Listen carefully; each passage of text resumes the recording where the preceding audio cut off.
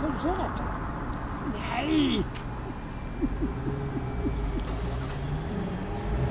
We are out of the house. It is 25 degrees outside. It's fantastic.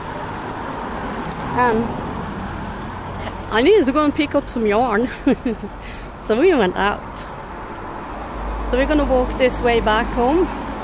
It's about 700 meters. It's a good walk. Yes, I'm out. I'm not in hospital. I'm out. I'm picking up yarn.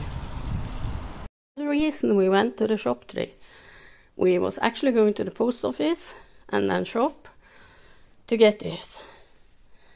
Because when I was in the hospital, they said there was two days left of the sale of May Mayflower Any Day print, and I was like, I deserve it. So I decided I wanted this one and this one. Isn't it beautiful? It does remind me about the print in uh, from Hobbii, but I like that they have other kind too. And this company, uh, My Flower, isn't My Flower? Yeah, it says there, My Flower. They support Trøstemus, the one I make the comfort mice for.